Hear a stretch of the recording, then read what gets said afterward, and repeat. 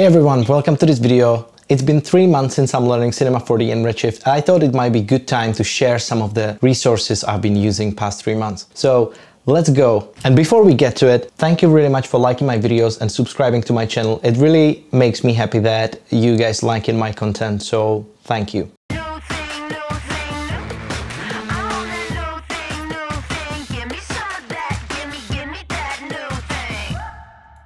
Starting with number 10, online courses, Helloluxx, MoGraphPlus.com, Domestika and many others. There are so many online courses and I might say I didn't try any of them yet. But I heard that Helloluxx Redshift guide is meant to be pretty good, so maybe I will try that one. I will leave a couple links down in the description, but won't comment further since I don't really know. Number 9. Ask Community. Join communities like MoGraph.com Slack, Greyscalegorilla Discord and others. Learning from others is a way to go. Being able to talk people directly and ask them for advice is an amazing way to learn and you may also make some new friends. If you have seen my video on TV display like materials, then you know what I'm talking about. Don't be scared like me and type something in. Number 8.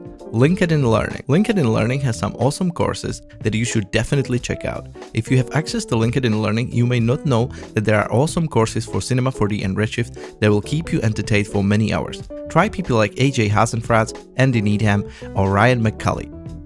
Number 7. Skillshare. If you have access to Skillshare, then just type in Redshift and you will find some great tutorials. I recommend Redshift for Cinema 4D Masterclass by Ozgur Gorgun or Don Mupasi and his astronaut animation.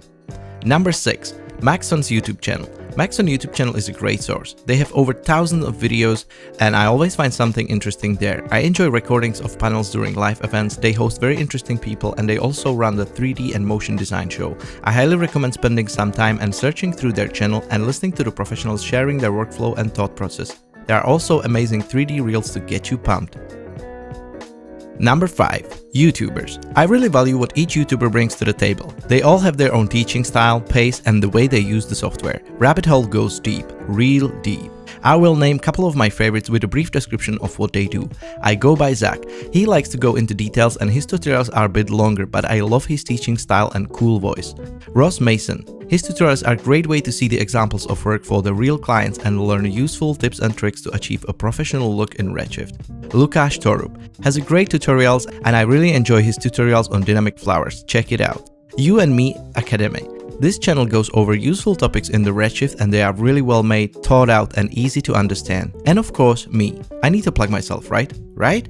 I'm just starting out and I'm very new to Redshift, but I aim to provide weekly videos and teach what I learn in Redshift myself. I hope to help anyone who is starting out and wants to work in 3D and motion design.